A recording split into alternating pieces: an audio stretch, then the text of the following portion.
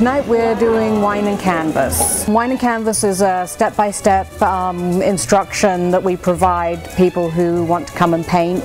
They can have a glass of wine, have a snack, and then enjoy painting.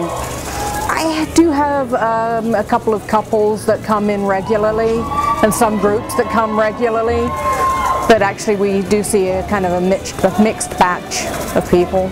They enjoy it and they actually surprise themselves because a lot of people that attend don't realize that they can paint. But with the instruction that we provide, um, with the step-by-step -step instruction, we actually have people that are like, wow, I need to do this more often because they find a hidden talent. That's what I come to work in the morning for, to make people feel better about themselves.